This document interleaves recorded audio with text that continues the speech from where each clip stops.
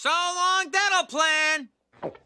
Dental plan. Lisa needs braces. Dental plan. Lisa needs braces. Dental plan. Lisa needs braces. Dental plan. Lisa needs braces. Dental plan. Lisa needs braces. Dental plan. Lisa needs braces.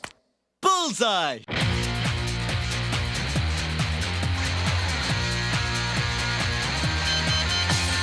Something tells me I've been dreaming of someone who was never real. It seems I changed a thousand ways. I wish I looked the way I feel. Ding! Stop playing with me. What niggas know about brace face, son? So, you may not have heard, but I recently lost a game of 2K. It was pretty close, I'm not gonna lie. The bet was if I lost, I'd have to do a video on Nickelodeon's As Told by Ginger. Some may think I took an L, but uh, hey, hey, hey, hey. Hide the money, y'all. There's poor people around. With your broke ass. I got a lot of comments after that video came out of people wanting me to review the Canadian-made animated series Brace Face from 2001, which aired on Disney Channel. I take it that people closely associate the two. I'm definitely guilty of that. Honestly, you can see why at first glance. Teenage girl, boyfriends, green grass, it's a whole vibe. After Ginger was over, I was admittedly hungry for more animated shows like that. It really put in perspective for me how important these kind of cartoons are and how fun it is to watch them and grow with the characters. Plus, I I don't know if y'all know this, but it's like crazy easy to access this show, my G. It's all on Tubi, son. Why does nobody talk about how lit Tubi is? You can damn near find anything up there. Fucking got high and watched Mad George and Martha. I love Tubi, son. This isn't a Tubi ad. By the way, they ain't paying me. But this is an ad for Skillshare. Skillshare is an online it's like nah. If the streets want brace face, I'll give the streets brace face. So here I am, finally doing this video in this October 2019. Uh, okay. Well, I moved some things around. Uh, let's go for March. Fucking hell. Alright, let's do April. Can I? May? Fuck! July? How about, how about now? Can I do it in August? God damn. Works for me. Brace yourselves, y'all. What Canadian made TV cartoon stars a blonde teenage girl and her circle of friends who are trying to make their way in the landscape that is teenage life? 30 seconds, go! Oh, I know this. Oh, me too, me too. Uh, it's, it's, I can see her. Oh my god! Sharon Spitz got braces?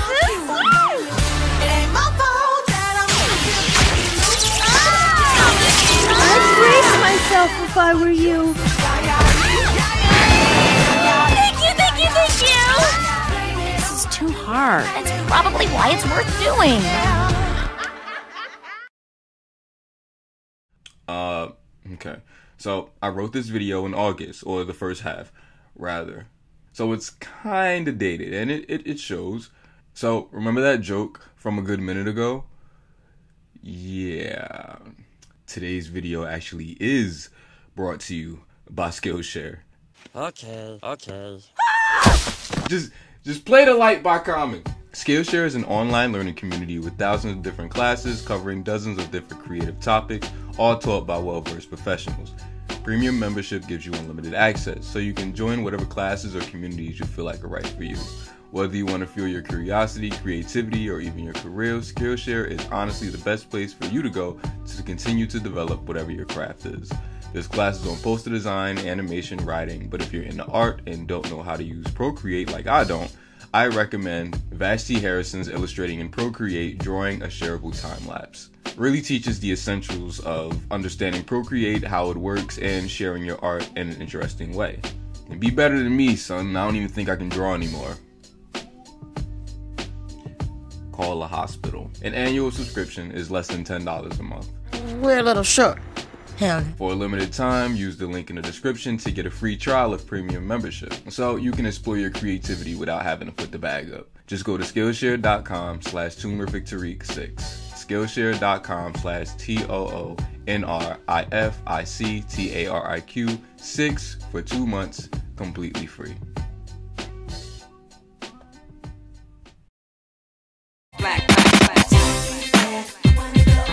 Braceface is about Sharon Spitz, a 14 year old going through everyday life with her best friends Maria and Connor. Her mom pops in one day and says, Yo, you getting braces tomorrow. She's like, Huh?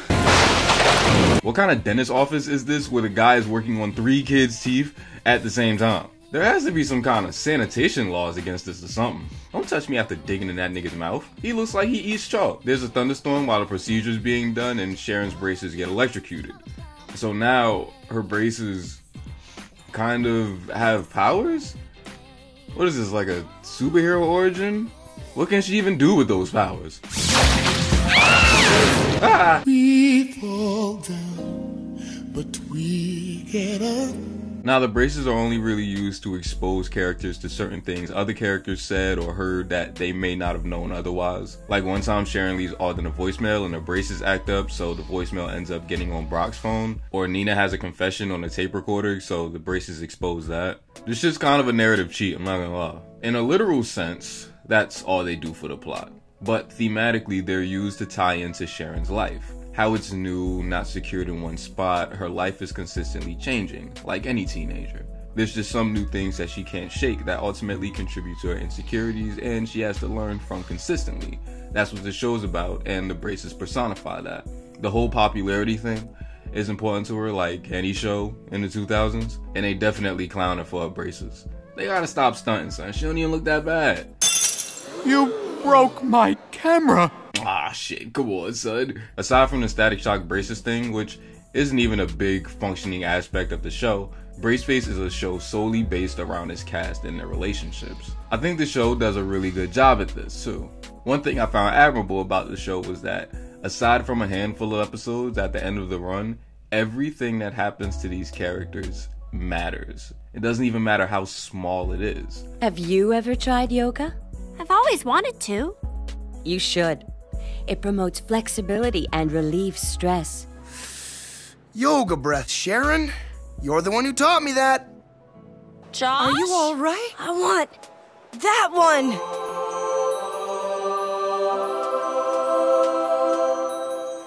Here. You were really good in the play. That has been something that I've always respected about these kind of cartoons. I guess these slice of life cartoons really carry this reputation that these things don't really happen to these characters. They always either seem to revert back to normal next week or only remember select things. You think in something like Rugrats, the parents would learn to keep a tighter grasp on their kids after they got lost in the woods, or they control fucking mechs around Paris during a wedding, but no, no one learns anything. They even let them get lost in the woods again, son. No, none of this should mean anything. I don't think this makes one better than the other, but I do think it's nice to sit down and watch something and go, hey, these are real people with real boyfriends, real teenage, real complicated life. So Brace Braceface ran for three seasons, and within those seasons, they gave us a lot of characters. I already mentioned Sharon, but there's our other two best friends, Maria and Connor. Sharon overreacts to a lot of things, but is always grounded because her friends always look at her like she's complaining about nothing, because she usually is. They really are the level headed voices of reason that keep the show afloat for most of its run. Maria more so than Connor, but we'll get to that. Alden is Sharon's crush and soon boyfriend in the show, who has a band, Mangled Metal, with his best friend Brock. Sharon and Alden actually get together really soon in the show. I was surprised. They just ripped that band-aid right off, huh? I respect it. At least he doesn't Steve Urkel her and not give her the time of day until around the end of the series when he's about to fucking die in space. How the fuck did I get on Family Matters, son? This was that weird era where cartoons kept over sexualizing teenagers on some Kim Possible shit. The shit kinda nasty, son, I'm not gonna lie. Look at this nigga Alden. Why I keep drawing this nigga like this? This is a young boy. A young white boy. I think I'm calling the cops. Of course, you can't have one of these early 2000s shows about high school without the popular girl that wants the main character dead for pretty much no damn reason, to be honest. I mean, there's a reason. It just makes me roll my eyes. That's Nina here. They give her a little henchman named Allison, who I pretty much ignored for the first half of the series, but then she ended up having my favorite arc in the whole show. So Connor almost fucking dies one day, and her dad, being a firefighter, saves him. They chop it up and start dating and remain that way for the whole show. She dead ass cuts Nina off, realizing how bad of a person she is, apologizes to Sharon and Maria for everything, and she's like a fourth member of the squad. That's what I mean when I say that I just I admire that everything matters here. and she says this. I know I played this clip already, but I can't get over the fact that somebody actually said this in this show. Don't worry, she'll let you know. I'd brace myself if I were you.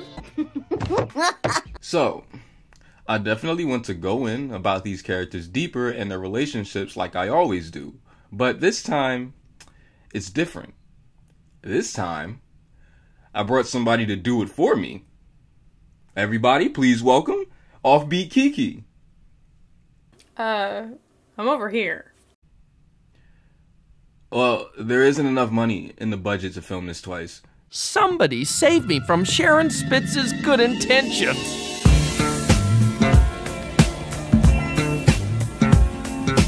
It took me 15 episodes before I was able to write anything at all about Sharon because this girl really does not know who she is at the beginning of the show. I hate to say it, but when you consider all of the choices she makes, Sharon's not really a good person. Her actions are typically defined by her desire for attention, popularity, and boys. I think she suffers from anxiety, which leads to her overthinking basically every situation in her life, especially when it comes to relationships. Well, have you ever had that dream where you're standing in front of the whole class and you suddenly realize you're naked and there's nothing you can do about it?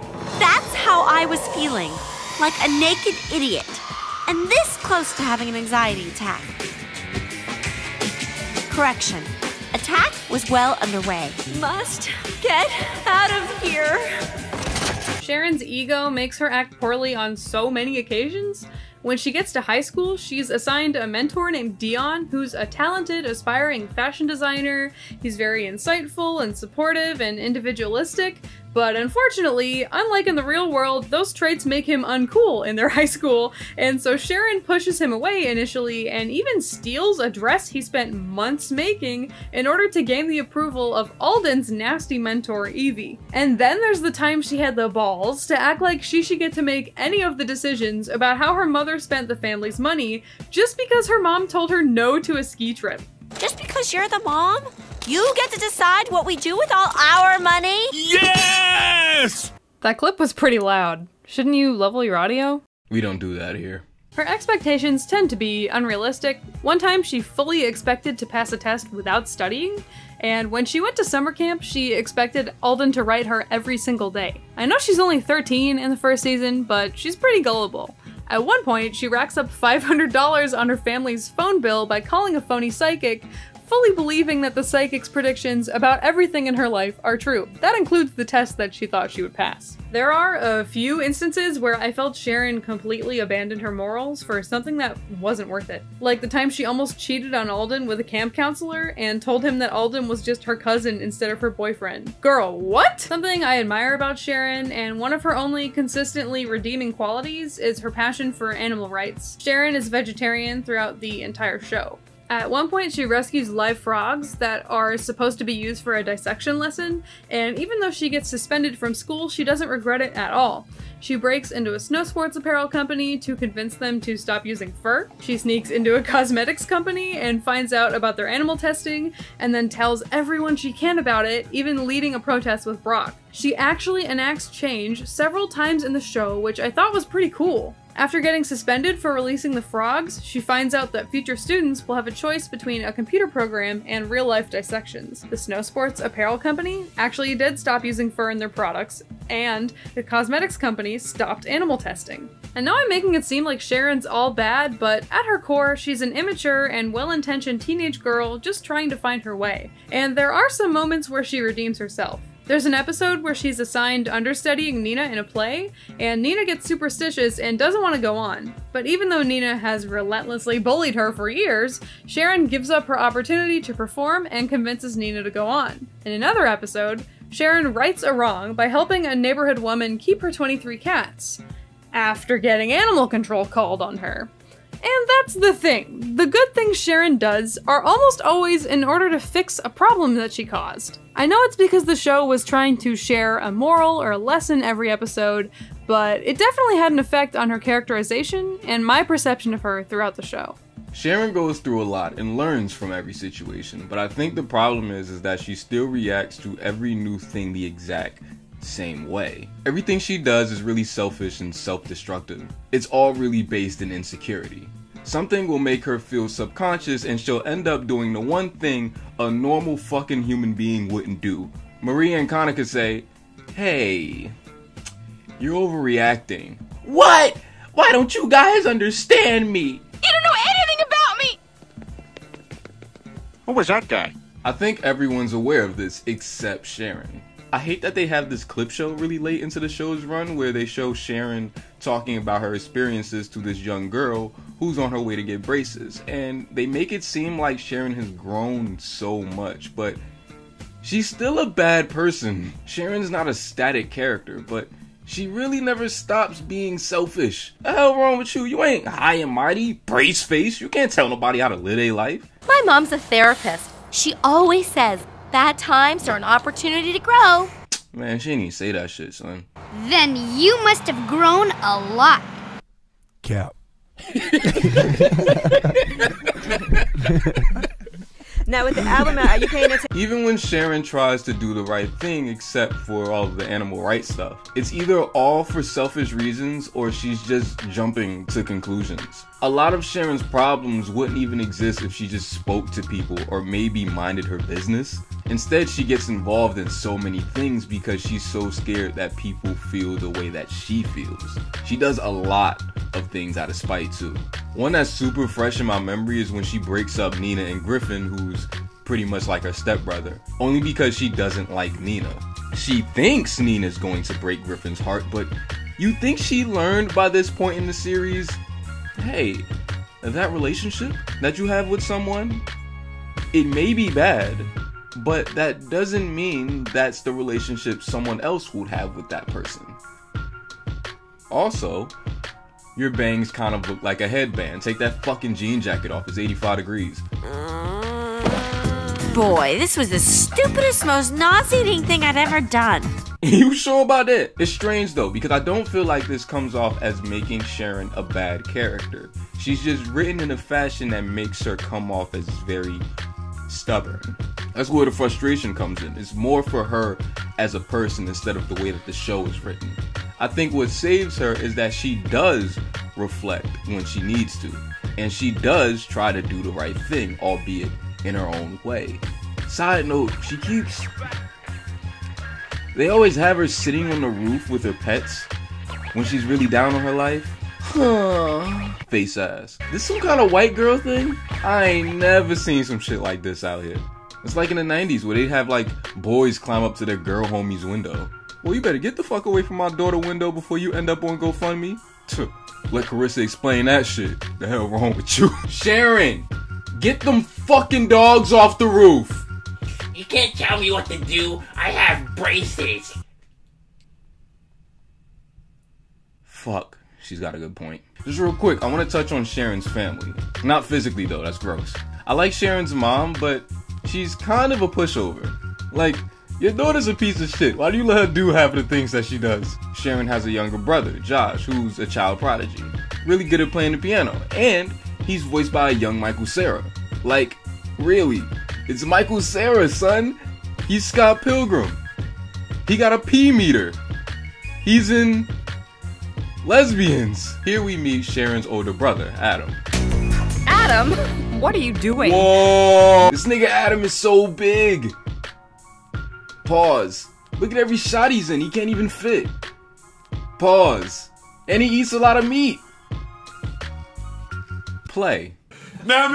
Sharon's parents are divorced, while her mother Helen is consistently present throughout the show and maintains a balance of supportiveness and assertiveness. Her father Richard is a musician who is constantly on the road and taking weird gigs, which leads him to be less present, especially in the first half of the show. We saw this evident in the episode 14 Candles, where Sharon's father got her a doll for her 14th birthday despite the fact that she had stopped playing with dolls a long time ago. Sharon definitely had a reaction when her parents got significant others, but by the end of the show, she seemed to have a healthy relationship with both of her parents and their partners. I really appreciated the time and attention that the show put into Sharon's relationship with her parents. It gave a lot of depth to her backstory and characterization, and it was refreshing to see from a time in cartoons when parents were virtually non-existent. Kind of reminds me of As Told by Ginger, but comparing the two is a video for another time. Don't you think so, Tariq? Wait, huh? Wait, did you just... Holy shit, did you just address me? You know, we wrote all of our sections for this video, like, separate from one another, so I'd, like... I genuinely, um, I wasn't, I genuinely wasn't prepared for this. Uh... Yeah. No, sure. We'll do that sometime. Yo, how long is this video? Do you have any idea what you look like hip hopping?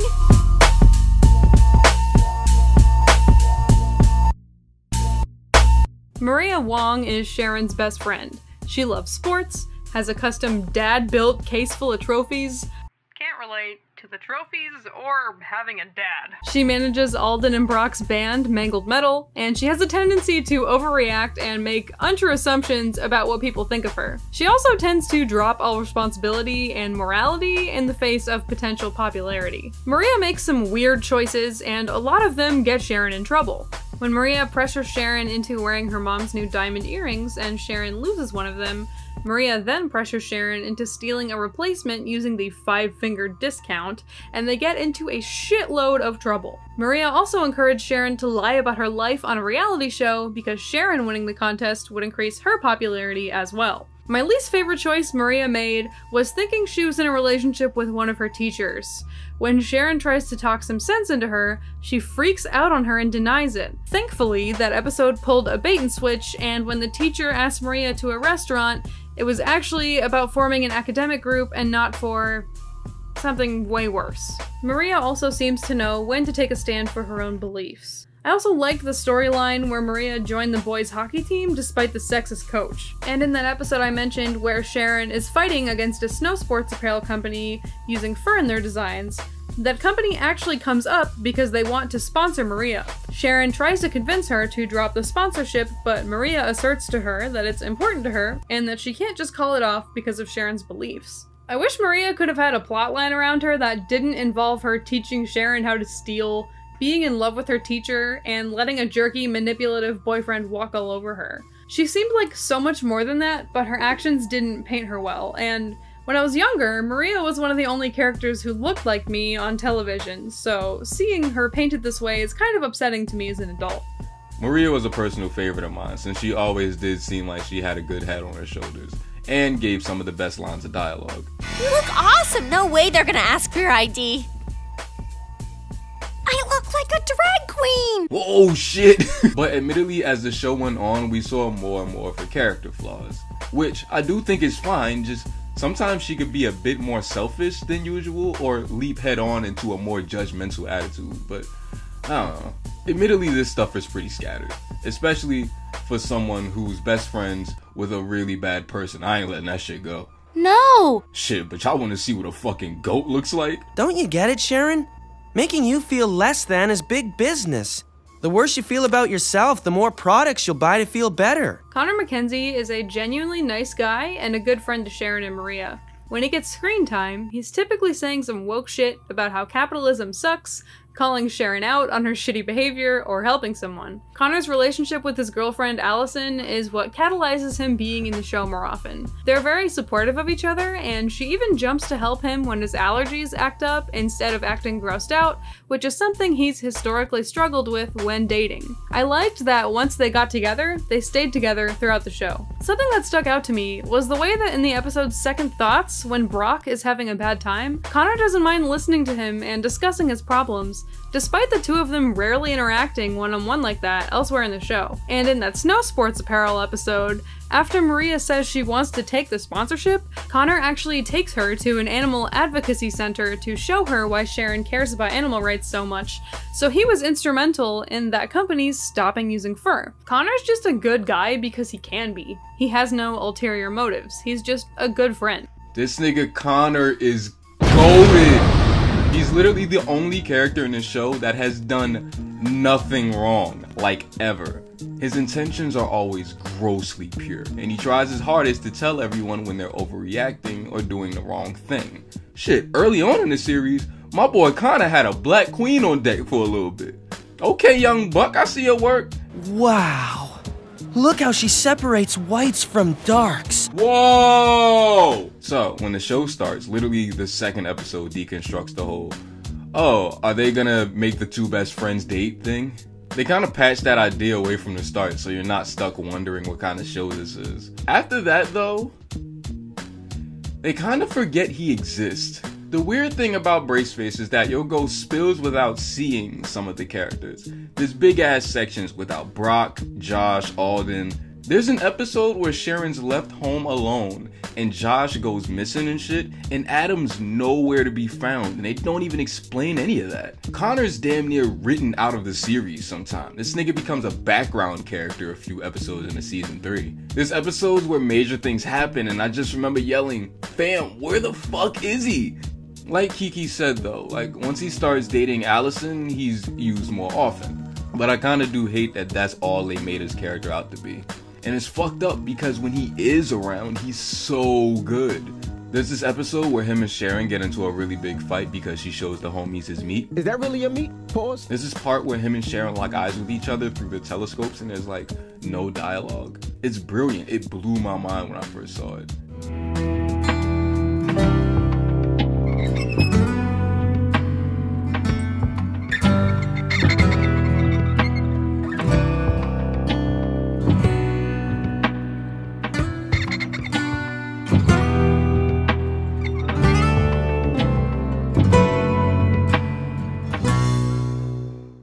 I get if everyone listened to everything that he said, there'd be no conflict. And I also get not wanting to write a character whose entire stick is nobody's listening to me. It's just when you give us such a well-rounded character, we're definitely going to miss him when he's not around, especially if you don't let him be himself. For better or for worse. Thanks, Jims. Should I thank Gems? Yes.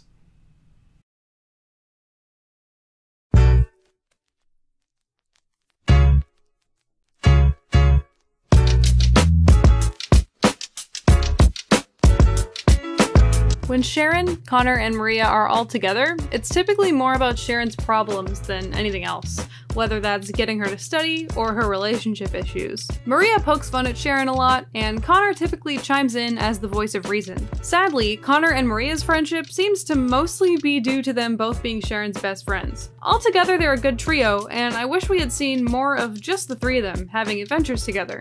When it comes to Sharon and Maria, I'm not sure they really have a healthy friendship. As we talked about earlier, Maria pressures Sharon a lot with bad advice throughout the show.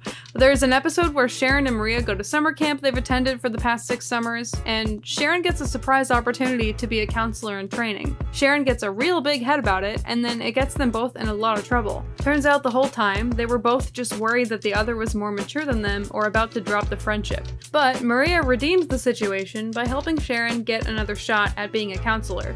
Sharon had some weird expectations for Maria. When Maria gets sponsored by that snow apparel company that uses animal fur, she says it's one of the coolest things that's ever happened to her. But Sharon gets super offended that Maria doesn't hold the same animal rights values. Maria ends up hijacking the company's fashion show to announce them switching to faux fur, which forces the company to actually do that. Have you noticed a trend here yet? It's always Maria doing the thing that fixes the situation between the two of them. It's never Sharon. Connor is really the only true good influence on Sharon amongst her classmates of the same year. He's a really good friend to Sharon consistently throughout the entire show. He's always reminding her of of what's really important in life and dropping knowledge on her. I love the episode where he took her to a meadow and they rolled down a hill together to enjoy just a simple thing. It was really wholesome and sweet. When Sharon messes up, Connor typically forgives her instantly, but there were two times where Sharon really did Connor dirty, and she totally deserved the backlash. Another time, Sharon and Connor got paired up for a science project, and Connor wanted to do all the work because Sharon had bad grades in science. Sharon cheats and gets them in trouble, but even after it's all over, Connor assures her that her drawing interpretations of the project still match the real solution. There really is kind of a Mike, Lu & Og thing going on with these three. Like, I could give you some examples of Sharon and Connor, maybe a few of the three of them together in a fucking grocery list of Sharon and Maria. There's times where Maria and Sharon pull up together on their bikes, and I'm like, damn, where old boy at? Y'all are terrible friends. Go find your homie. They could have took his fucking Beatle boots. Y'all don't know. Sharon, they took my Beatle boots. Suck my fucking dick, you bitch ass nigga. I low key hate this nigga Brock every time he's on screen. He be on some like borderline predatorial shit. Yeah. Mm. No pain, no gain. And even when he's not doing that, he's just so cocky and desperate and loud. And he's wrong about everything. Remember, kids, the only thing worse than being wrong is being loud and wrong. They got this nigga doing the monkey pose, man. She she envisions this nigga as a fucking dog. My third eye was open the whole time I was watching this shit, son. Oh, all that goofy shit. Nice voice actor, bro. How's that treating you? I don't think Brock's like a bad character. He's just a super annoying, borderline bad person. He's like this for most of the run, but he lightens up in the last third of the show. The whole time watching it, I was praying that they wouldn't do the predictable thing and make the two minorities date, but yeah, yeah, no, they definitely do that. What starts with an M and ends in an A? No, it's not my ma, it's Maria. That shit is fucking trash, dog. Get the fuck off the airwaves. Oh, he dates Maria a bit later, and if you pay attention right before this happens, you can see the writers putting it into overdrive to give him some redeeming qualities. I think it works though. They complement each other very well, and I respect that you get the sense that he grew up instead of just being morphed around in a writer's room. That monkey pose still ain't cool though. Who the fuck drew this? Sorry, but Brock Layton is a bad student. He borderline harasses his female classmates, and he's just generally the worst. 2000s kids TV demonized black teenage boys so bad. Nickelodeon did the same thing to Tucker and Danny Phantom. And the only positive example I can think of is Static Shock. Not cool. Brock is essentially a pervy, overconfident idiot for the entire show until he and Maria get together. We find out he likes Maria real early on in the show, but regardless, he hits on every girl he sees until they're dating. He postures like he's got swag, but he embarrasses himself a bit trying to win her favor, showing up for their date on a unicycle and dressed real goofy. Once they get together though, Brock's characterization flips. He puts effort into bonding with Maria's Italian grandparents. He suddenly loves cats, and he even directs a play despite his father disapproving of his interest in theater. He also hosts protests against animal testing in the cosmetics industry, and I didn't see an ulterior motive there. He just agreed with Sharon's cause and wanted to fight for it with her. She's accepting of him how he is, and they seem committed to working on their relationship. In general, I think Maria's relationship with him really helped him become a better person, and I'm glad they gave him some mature characterization later on in the series. So, uh. Let's talk about Phineas and Ferb real quick. Here is Cute Blind Boy with guitar! Here we go. Beautiful, kind, and gentle. Alright, so remember Jeremy, Candace's boyfriend? So I never noticed until talking to Rob for the Phineas video. But this nigga pretty much is deprived of any ounce of a personality. He's just cool. That's it. He even keeps the same pose all the time. That's why he looks so gross when he catches the itis and gets attached to Ashley Tisdale. This makes way more sense in context. Alden has just as many personality traits as Jeremy. They're both the same exact flavor of vanilla white boy with a guitar. Except Alden's not as cool as Jeremy, Jeremy got a little swag to him. I know you could easily make these points without attributing them to other animated series, but now you've come to the wrong channel if you weren't looking for something tangible. Sweet. Alden's characterization consistently surprised me at the beginning of the show. For a 13 year old boy and the love interest of the main character, he's surprisingly thoughtful and openly affectionate with Sharon. But he has his fair share of mistakes. At one point, he straight up tells Sharon that dating is about seeing movies and doing homework together, not supporting each other.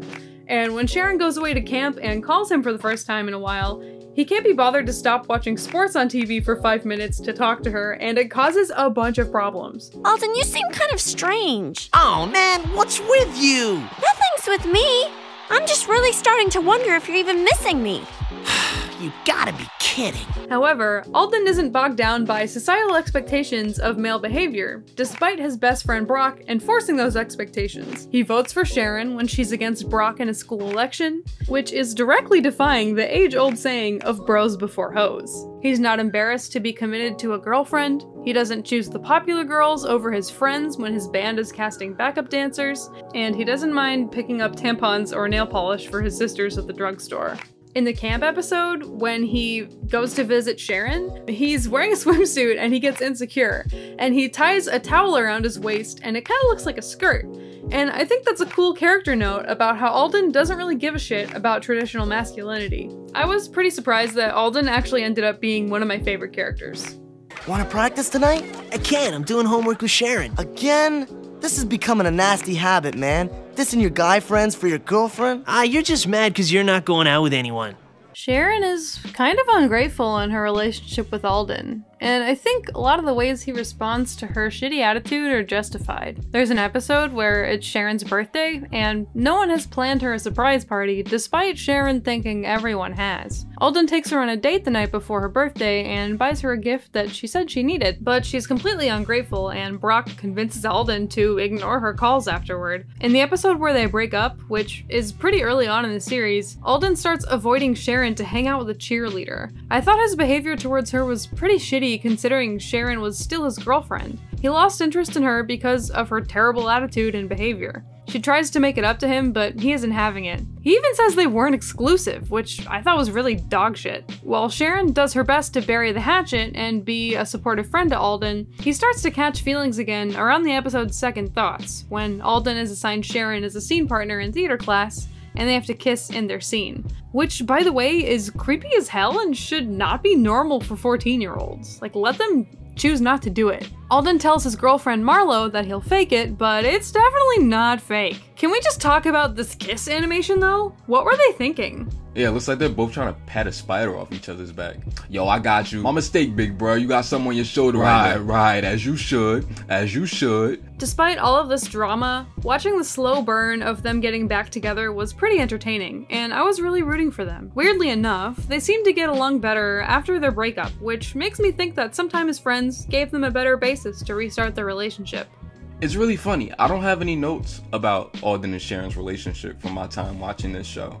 I don't think it was handled bad. It just wasn't my biggest investment. I kind of liked them when they were with other people, man. I'm not gonna lie. Like Alden and that black girl were super big chilling, bro. They were a whole vibe. And Sharon, you know, she had. Hey, you wanna read your notes for Nina?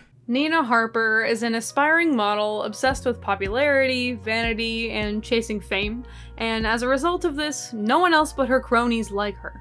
When we get a glimpse of her mom and her family's lifestyle, it's very obvious that Nina's family is rich. Nina's obsession with these superficial things honestly makes her a pretty weird girl. She says that her clothes smell so good she could eat them, she talks about how much popularity matters to her in therapy, she loses her student body president position after using the school budget to buy makeup, and she even insists on any dog she gets being purebred. But she does adopt a rescue eventually.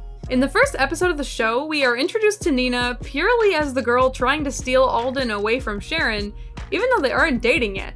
She even calls Alden during class to tell him that Sharon can't go with him to the dance and tells him she'll be his date instead. She's just always trying to fuck up Sharon's shit as much as she possibly can. When you consider it for long enough, Nina's obsession with destroying Sharon seems pathological. She makes fun of Sharon for feeling compassion for animals. Oh, look at poor little froggies. Oh, that's right. D-Day's coming up. Dissection Day. It's not for everyone, though, especially wimpy whiners who can't take a little gore. She says she wants to see Sharon in detention for the rest of the year, and generally does anything she can to make Sharon feel miserable. Then, late in the series, we find out that she holds this vendetta against Sharon because she thinks that Sharon broke a bunch of her dolls when they were kids. And then it turns out that it wasn't even her. As far as I could tell, Nina had no redeeming qualities. Nina is what I was scared Courtney was going to be before I rewatched Ginger. No character, no nuance, just villain. Anytime they make her sympathetic, we don't see too much of it because this shows from Sharon's point of view. Nina is written really superficially.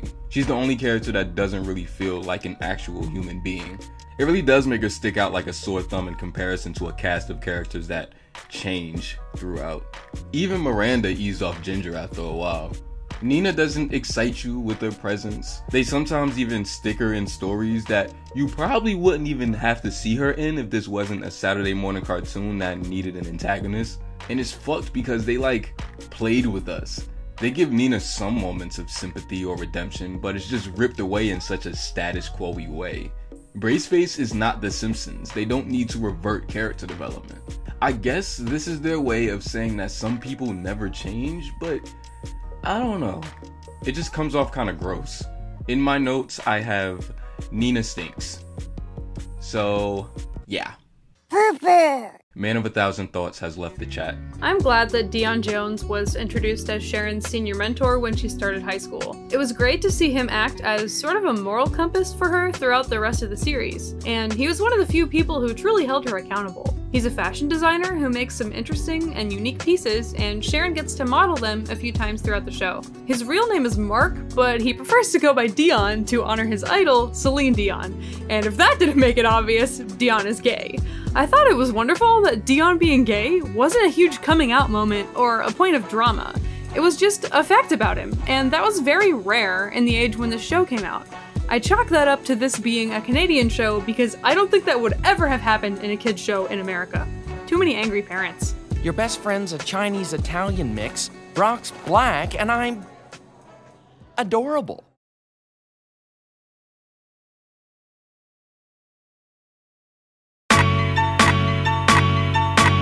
Fashion in the show is very 90s inspired, so I love that. But I wish the characters could change outfits more often. Sharon and Maria get a new outfit each season and an occasional special look based on the episode, but basically everyone else wears the same thing. The entire time. It would make sense if they never aged, but this show spans over three years. You're telling me Brock and Alden never considered a drip upgrade from 8th grade to sophomore year of high school? I noticed that the backgrounds in the show are nicely built from textures. However, the character art looks pretty silly a lot of the time. I noticed the art got a bit more proportionate in the third season. I gotta say, I super loved the edgy, sad music transitions, and I can still hear them in my head. These backgrounds. Oh my oh my god, these backgrounds. Like early on in the show's run, I think I'm gonna fucking throw up, Jesus Christ. They look like Garfield PC games from the 90s.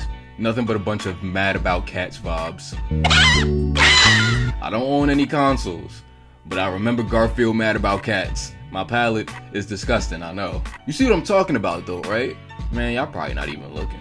I get told all the time that people just listen to my videos instead of looking at like the hours worth of editing. Can you see that? The character art's pretty sharp. A lot of points, a lot of edges, but they don't go too overboard. At least it's not like anything by Butch Hartman. The nigga chin! The what, bro? It gets a little crazy though. A nigga go wonky out in a minute. But for the most part, it's a solid looking show. The theme song is reminiscent of the Brandy and Mr. Whiskers one, whereas they both use clips from the first maybe five episodes and time them to the music. But there's a little bit more new animation here, which I appreciate. Alright, musicality time, son. I love the first few shots of the intro. They're timed so well. Something tells me I've been dreaming Sharon flips her hair on beat right before the singer drags out the word never. of someone who was never real. This shot right here is genius, I swear to God. Sharon reaches in, locks eyes with her mom. It seems kiss. I've changed the. Then we have enough time to see her mom fully react and hold on it until the dog pops out and eats the fruit. Her mom and Adam both react on the eye. Fam, I could look at this shot all day. There's so much going on. It's so good. It seems I've changed a thousand ways. I Wish I boom boom boom boom boom ding. She steps on beat, son. It's so good. I'm gonna throw up. Good vomit. Real classy. Real. A lot of red lobster. Sharon's voice actress change in season 3 was pretty jarring for me. In the episode Lucky Break, I had a hard time figuring out whether Sharon was being sarcastic or genuine. And after a few episodes, I felt that the new voice actress was way more tolerable and less grating. She also gave Sharon a bit more maturity. I tried to research why the voice actress change happened, but I couldn't find anything. My braces! I heard some noise and all of a sudden I could hear Adam on the phone with one of his friends. What about the dancers? They must be in incredible physical shape. Let's spend a little time rounding it off and talk about how Braceface handled some of his lessons. It was pretty much the core purpose of the show. Where something like Ginger was more about these characters and what they were going through, Braceface was more about what they learned. They actually do an episode where Sharon gets her period, which was something that I was expecting Ginger to do, but they didn't. So it caught me off guard, which worked because I'm a dumb guy, and my reaction was like Alden's. Oh, tee hoo, I love you. Fam, the episode is called The Worst First Date Ever. Period. How did I not see this coming? You gonna talk about the boob episode? You gonna talk about the boob episode? You gonna talk about the boob episode? You gonna talk about the boob episode? Ah! Eh, y'all don't read each other's comments before y'all start emptying these shits out? This shit ran for 70 episodes. Some white boy tell y'all that her boobs grow and y'all go crazy. You wanna talk about it? Of course not. I didn't even really ask you. This is pre-recorded. Just play Eric B and Rakim again. Sharon is insecure about her breast size, so she goes to buy a new bra that inflates, so it makes her chest seem more prominent. It goes wrong, and she learns to love her own body for what it is. That's it, alright? Ain't nothing spectacular. That's why I'm so confused by all of these comments. Hopefully, y'all come away from this video realizing that this show has way more to offer. Also, I know a lot of y'all don't watch the whole video before commenting, so I'm safe to assure that someone referenced it. If you see a comment like that, respond with an L. That'll show them. I don't know, man. Some of these lessons, man, they didn't have to. okay. So, there's this one where Sharon meets a guy and thinks he's perfect. Then he pulls up to pick her up for a date, and her brothers are like, oh, we know this nigga. How come I've never seen you in class? Oh, oh, Pablo doesn't go to the same school as us. I meant your other brother. Oh my god. I mean, when I heard his voice, I definitely thought he sounded like a young bull, but I kind of just shrugged it off. Then they pull up to the date anyway, and then they start playing on the fact that he's young, super thick, G. This shit had me crying. That's not all. I also got suckers that are whistles. How cool is that? Yeah, I used to love them when I was a kid.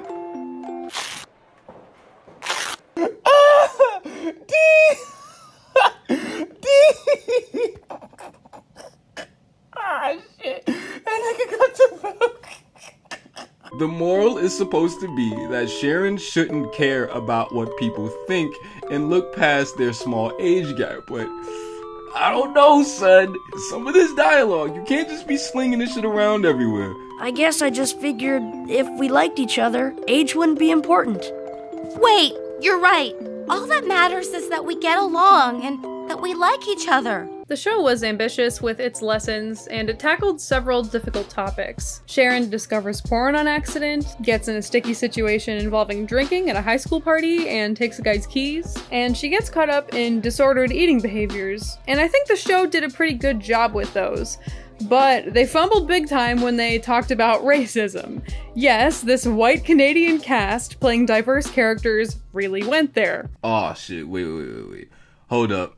I forgot about this one. Play Eric B and Rakim for real this time. So Sharon's grandfather that she hasn't seen in a while comes to visit her. Cool. Maria pulls up with this Muslim guy that she's been dating, and he just he just starts to go viral off rip. Cloud? Uh, what kind of name is that? That's just what the guys in the team call me. My real name's Muhammad. Oh, oh, you're an Arab. And when do you get your own camel? Oh boy is kind of playing with it, He's kinda letting him have it, but then this nigga kicks it up a notch faster than Phineas and Ferb and Slash. Just make sure you don't lend it to Maria. Why? Well, everyone knows the Chinese are such bad drivers. So now I'm like, oh shit. Maria gets pissed, rightfully so. Here goes Sharon. He was just playing. He loves you people. I bet you he loves Chinese food too. He does. So now they beefing. Sharon's scared that she got the fucking racist gene because of course she finds a way to make everything about her all lives matter head ass. They fucking go bowling and old boy starts being all misogynistic, telling Maria not to use the big bowling balls, interrupting her when she speaks, kissing her in public when she doesn't want him to. So now they're trying to tackle racism and misogyny and I'm learning that I don't know how to spell misogyny. Sharon tries to talk to Maria about it, but now she thinks Sharon's just hating because he's Arab. She presses her grandfather and he just like doubles down. Well, it's true. Then he says some anti Semitic shit, and now she's super mad. This all sounds super deep and normal, but wait till you get to the end. Maria breaks up with old boy because she realizes that he's trash. Sharon figures out, Oh, I don't like him because he's a piece of shit, not because he's Arab. Lit. She goes to the fucking park and sees her grandfather flying a toy plane with a bunch of mixed kids. Sharon fucking dies. Then they piece it up and she buys him a damn tofu dog. Tofu, huh? You really think that stuff is healthy? I really do. What can it hurt? So really, the lesson here is, yeah, granddad, you could be racist and I could be vegan. We just have a different opinion. She's vegetarian. Whatever. Y'all know this isn't how racism works, right? I wasn't just I wasn't just born on Mars. Being racist is not a difference of opinion or preference like fucking eating meat. What the fuck is this? It's crazy because it starts off really smart and unapologetic, but then they just drop the ball OD. He doesn't even learn anything. He literally never says, damn, my fault. I was wildin'. He's still racist. Imagine if Brock walked in with that nut ass monkey pose. what is this? Some kind of some kind of Negro thing? And the little girl at the end that crashes the plane was Asian, so that pretty much confirms his crack theory that they can't drive. Fuck out of here, man. I'm fed up. Just skip to the finale so we can get the fuck out of here.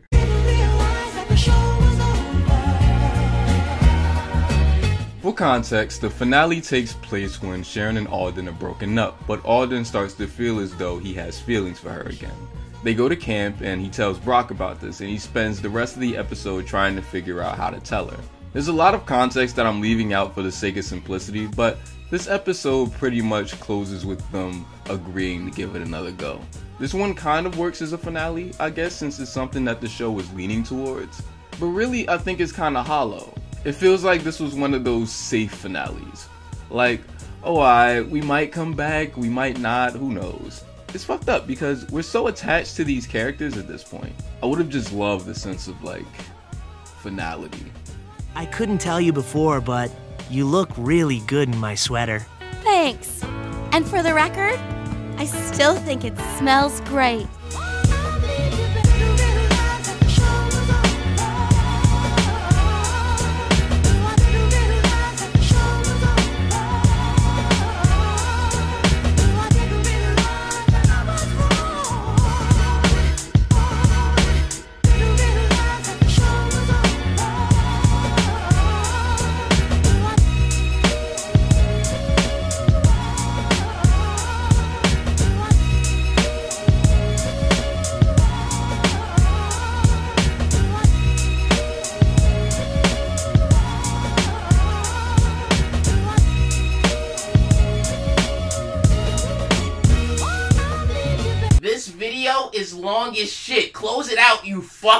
Doofus. You are a figment of my imagination, and I don't have to put up with you anymore. That's more like it. I'm in your head now, you fucking jackass. Hey, how come nobody watches your videos anymore? You should just delete your channel like that super hot fire guy did. Look at your views. I watched Braceface during three distinct periods of my life. The first was during its original airing, when I was seven or eight years old. I would see the show on TV every once in a while and always felt excited when it was on. The three episodes I remember from back then are Take That, the episode where Maria and Sharon use the five finger discount, The Good Life, when Sharon is in Lena's Rags to Riches music video, and Skin Deep, where Sharon begins disordered eating habits after Nina bullies her. I gotta say that the whole five finger discount thing definitely encouraged me to steal stickers out of a pack of yogurt at the grocery store, but I told my mom and she made me put it back. Rags to Riches stayed stuck in my head all these years, and I think I was a little too young to really understand what was going on in Skin Deep. The second time I watched Braceface, I watched it all the way through.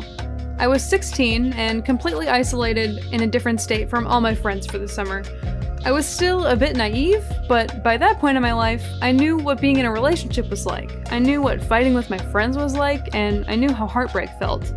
Braceface hit me hard this time. I remember feeling every emotion Sharon felt so profoundly as I watched the show. I was very invested in her relationship with Alden because it felt so deep and relatable to me. As a teenager, Braceface was a show about what I was going through. It was unapologetically feminine, captured the nervous energy I was feeling, and handled a lot of topics that I needed to hear about. As a teenager in the early 2010s, beginning to see the rise of social media and comparing myself to others, that episode Skin Deep about Sharon's crash diet had a much more profound effect on me. Now, I'm 25 years old. I know real adult pain, trauma, loss, joy, and how to find balance in the madness. I watched the show in quarantine, a time that felt like I was in limbo, floating in a gelatinous space outside of time where all I did was work, sleep, and feel sorry for myself. This time, Braceface was a picture of the juxtaposition of feeling like you know everything when you don't really know anything yet. For someone like me who was emotionally stunted as a teenager and sheltered by my parents from so much of the world, that complex cross of maturity and immaturity encapsulated my being. Watching Braceface again invited me to remember and reflect on the times I had previously seen it, and how I've changed and grown as a person. It allowed me to analyze the way I used to think and how I've matured past that previous mindset. And while my thoughts on the show aren't all positive, I'm glad I spent some time revisiting Sharon, Maria, Connor, Alden, Brock, and their friends, and at the same time, that former version of myself that related so deeply to the characters' lives. I don't think I'll be watching Braceface again. I've taken a deep dive into the characters and relationships, and I feel like I've gotten everything I can out of this show, but if you've never had the chance to catch an episode on TV or here on YouTube, I think it's worth giving it a shot. My favorite episodes are The Worst Date Ever, period, Mommy Nearest, and Skin Deep, so try one of those. Braceface is a show about adjusting to femininity, self acceptance, interpersonal relationships, and trying to figure out how to do what's right. Sharon makes mistakes all the time on her journey to finding herself and becoming a better person, but I think life as a young person is a series of best guesses and mistakes that lead us to who we're going to be as an adult. And this show did its best to depict that. Braceface is not a bad show. Braceface is a good show. It's a really fun show sometimes, it's a really frustrating show sometimes. But I think for what they were trying to do, Braceface was a really important stepping stone to talking about certain things on children's television. It reaches heights that we somehow haven't even caught up with. Braceface is a show about Sharon Spitz and how she lets her insecurities with her appearance dictate her anxiety and how she treats the people around her. She learns to let people live their own lives separate from her. She learns that the world doesn't revolve around her. All of these really important things when you consider the kind of person that Sharon Spitz is. However, I feel like for a show about a girl who gets braces and feels like her entire life is over, but she doesn't learn the most important lesson of all time, the one that would have easily made all of her problems go away. Mom, I'm fat. Oh no. No, honey, you're husky. It says so on your jeans. Mom, I'm fat. But big deal. I don't feel bad about it. You never made me feel bad about it. And just because there are some people in the world who want me to feel bad about it, doesn't mean I have to. So Bobby Hill's fat. He's also funny. He's nice. He's got a lot of friends, a girlfriend, And if you don't mind, I think I'll go outside right now and squirt her with water. What are you gonna do?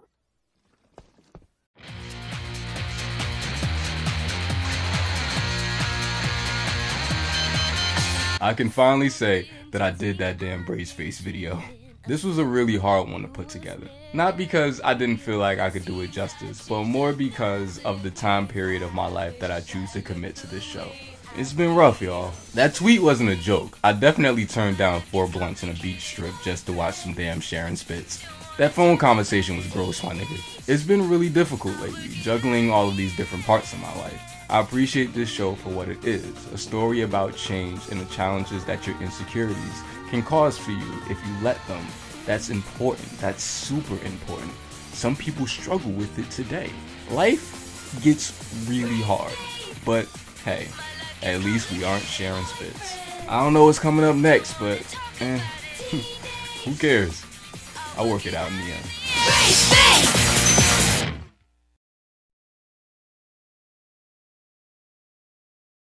Fourteen years ago, your father and I were at the U2 concert. We only got to hear three songs when your mother's water broke. Something tells me I've been dreaming of someone who's never real. Seems I've changed a thousand ways. I wish I looked the way I feel. It's just. Oh, Sharon, I just need a breather. I I thought what you and I had, well, I thought it could handle some stuff, but it couldn't. Are you breaking up with me? Oh, get out in You are. I just want to be on my own for a while. Keep it simple. We left during Sunday Bloody Sunday. And when you were born, 14 hours later, what did I say, Helen? you said, A girl. I always wanted a little girl. You did? You bet. Face, face. My life is complicated. Well, This time it's different. That's all.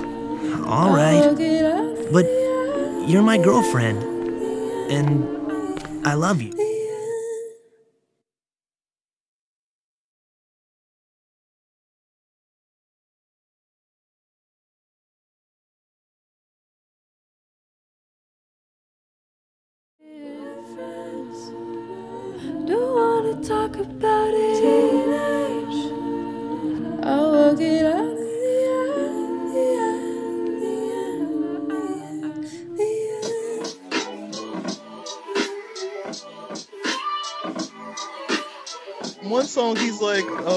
I can't fuck no fat hoe never. And I'm like, never, nigga?